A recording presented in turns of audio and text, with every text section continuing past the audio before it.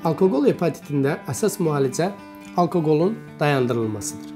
Xəstələrdə alkoqolun dayandırılması ilə bütün şikayətləri geriləyər, e, qan analizlərində olan bütün pozğunluqların hamısı düzələr.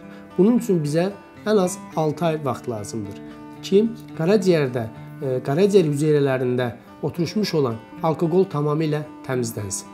Qaraciyər hüceyrələrində tamamilə təmizləndikdən sonra alkoqolun əlavə yan təsirləri də tamamilə aradan qalxmış olur. Qaraciyərdə alkoqolun dayandırılmasından sonra qaraciyər funksiyalarında e, çox ciddi bir düzəlmələr özünü göstərir və bununla paralel qaraciyərin simptomatik müalicəsi və alkola bağlı olan müalicələr aparılır.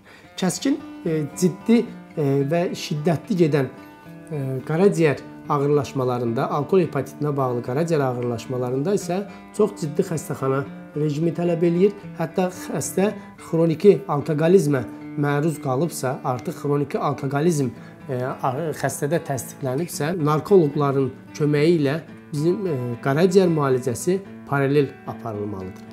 Artıq çox ciddi vəziyyətə gəlmiş və müalicələrə cavab verməyən ağır qaraciyər xəstəliyi isə artıq qaraciyər sirrozu və qaraciyər xərçənginə düçar olmuş alkoqola bağlı qaraciyər xəstələri artıq qaraciyər transplantı nəqli aparılması mütləq hala gəlir. Və bu zaman da xəstələrdə yaranan problemləri, qaraciyər sirrozuna bağlı yaranan problemlərin aradan qaldırılması ilə bir müddətlik içkinin, alkoqolun tamamilə dayandırılması və xəstənin psixoloji halının tamamilə düzəldilməsi, xroniki alkoqolizmdən çıxarılması vacib olur və bundan sonra qaraciyər transplantasiyası məsləhət görülür.